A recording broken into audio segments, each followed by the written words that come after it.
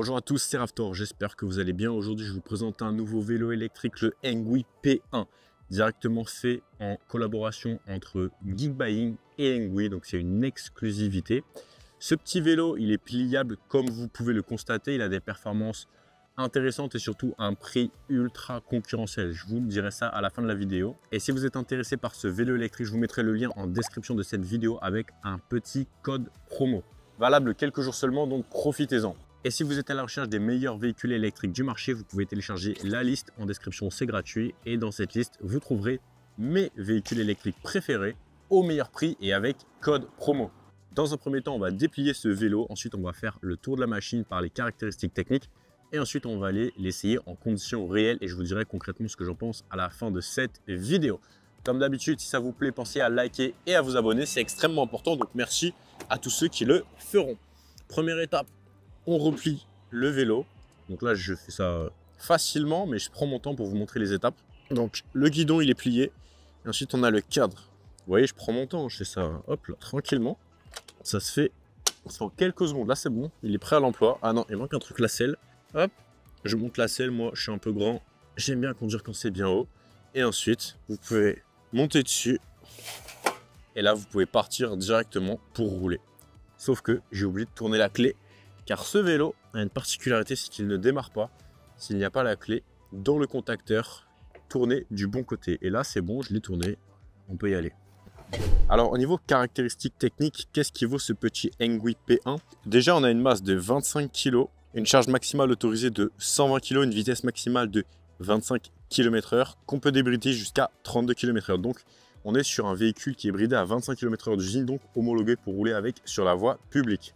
Vous avez là une assistance électrique, donc il faut pédaler et ensuite vous aurez une assistance. Mais si vous êtes motard dans l'âme, vous pouvez installer cette petite gâchette d'accélération et ensuite il vous suffit directement de tourner la gâchette. Bien sûr, vous la fixez ici.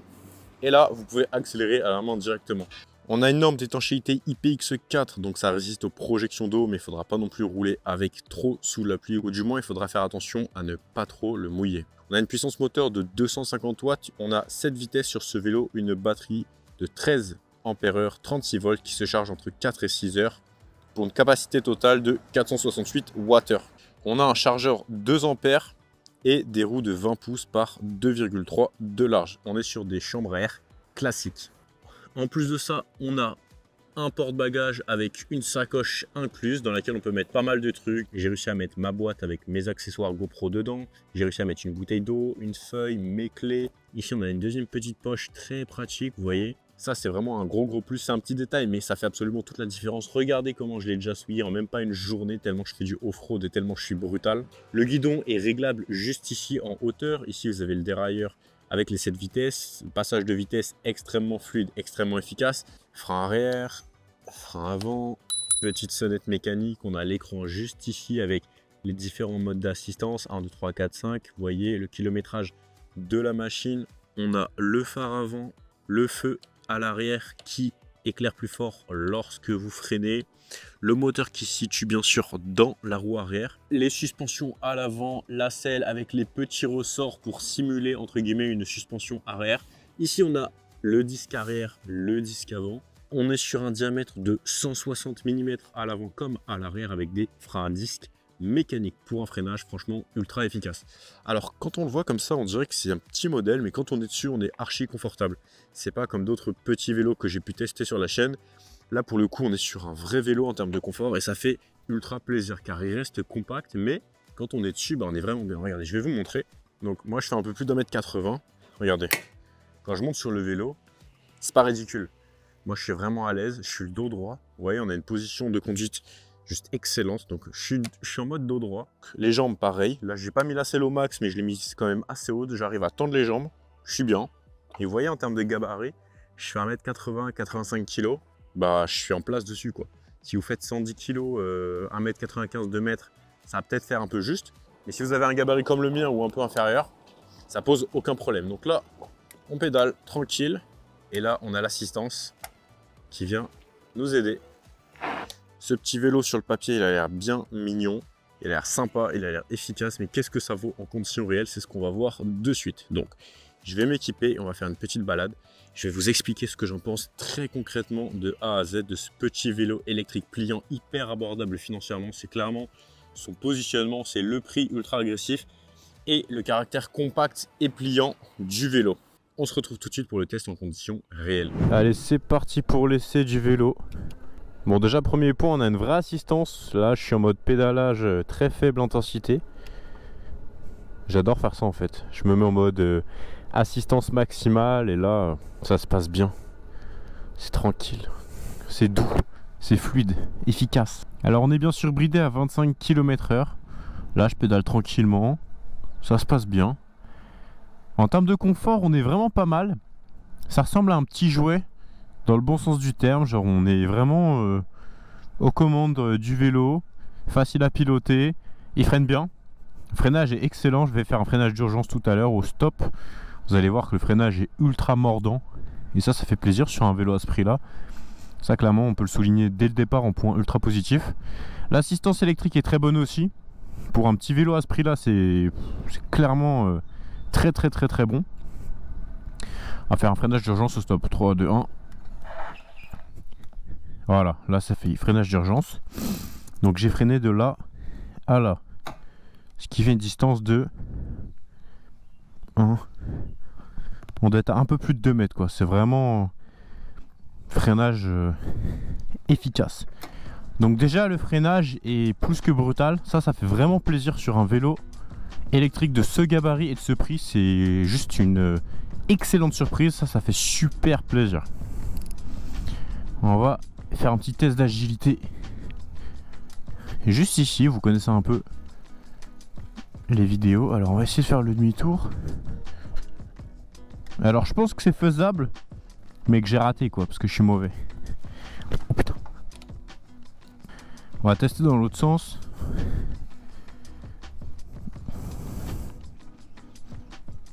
Ok, validé dans ce sens-là. Donc en termes d'agilité, il passe partout. Ça c'est bien. Ouais, ce qui est bien avec ce vélo, c'est qu'il se... Il se bouge tout seul, il se manie avec efficacité et précision.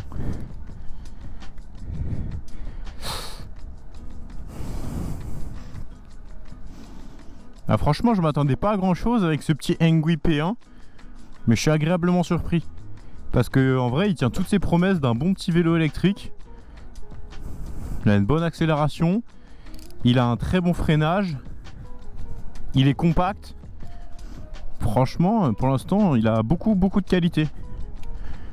On a la petite sonnette mécanique, il est homologué 25 km/h, on a un guidon réglable en hauteur, il est pliable de trois manières différentes, on a une batterie amovible avec clé plus serrure. Beaucoup de qualité franchement pour le moment, euh, beaucoup de qualité.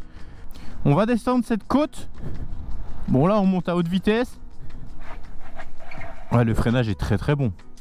Ça, c'est super. Euh, ça, c'est un super point. Le freinage est excellent. Ça fait grave plaisir. Alors, on va remonter la côte parce que la descente, c'est bien beau. Mais alors, la montée, c'est une autre histoire. Hein. Donc là, je me mets en vitesse 1 tout de suite. Et je pédale dans le vide quasiment et on la monte aisément à 10 km h Alors je pourrais pédaler plus fort d'ailleurs, on va le faire. Pour l'instant je pédale dans le vide juste pour voir si ça avance ou pas. Parce que là on est sur une big montée, hein, vraiment. Donc on arrive à la montée entre 8 et 10 km h Là on est à 9. Et si je passe la deuxième vitesse et que je pédale un peu plus fort, là je pédale euh, comme sur un vélo normal, euh, je pédalerai tout doucement. Donc euh, voilà, on monte à 12 km h avec ce petit vélo électrique. Donc ça, c'est une excellente nouvelle. Alors je vais faire un petit test de freinage à la plaque d'égout là, la deuxième. 3, 2, 1.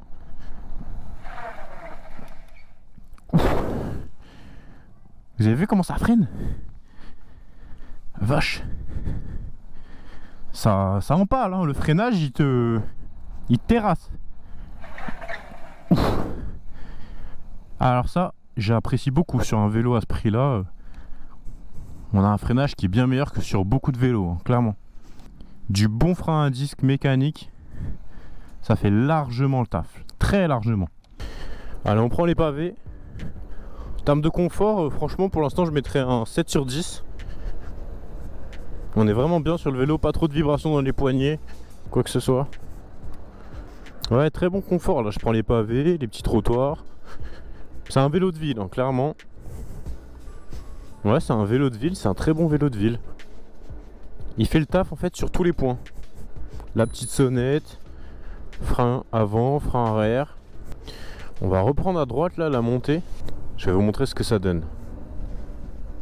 Là, c'est une belle côte. On va se mettre en vitesse 2, 3. Alors, je pense que ma conclusion va vous surprendre. Parce que c'est très rare que je dise ce que je m'apprête à dire. Mais vous allez voir que c'est positif. Putain, je suis content de ce vélo. Petit vélo. Alors on n'est pas sur un usage off-road, on n'est pas sur un usage road trip, on n'est pas sur un usage euh, transport de personnes, transport de marchandises ou trafic d'organes. On est sur un usage ultra basique, ville, seul. Soit vous le faites en full électrique avec l'accélérateur juste ici, que vous pouvez retirer ou mettre. Hein. Moi je l'ai installé comme ça pour pouvoir le tester. Ou soit vous le faites en mode bah, assistance électrique, genre vous poussez avec les jambes et vous avez une assistance bah, qui vient vous aider. Donc vous voyez 25 km h là je pédale dans le vide et je maintiens mon allure, ça c'est vraiment idéal. Hein. Si vous voulez pas vous fatiguer là, ne vous inquiétez pas, on pédale juste dans le vide et on bloque à 25 km h Incroyable.